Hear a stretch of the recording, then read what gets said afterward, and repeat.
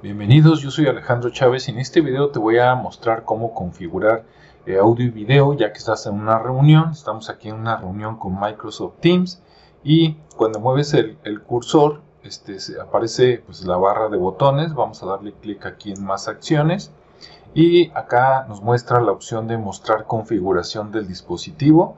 Vamos a darle clic y aquí a la derecha van a aparecer estos controles donde aquí tú le dices por dónde vas a escuchar en el caso de que tengas varias opciones, aquí te aparecen todas las bocinas, ¿sí?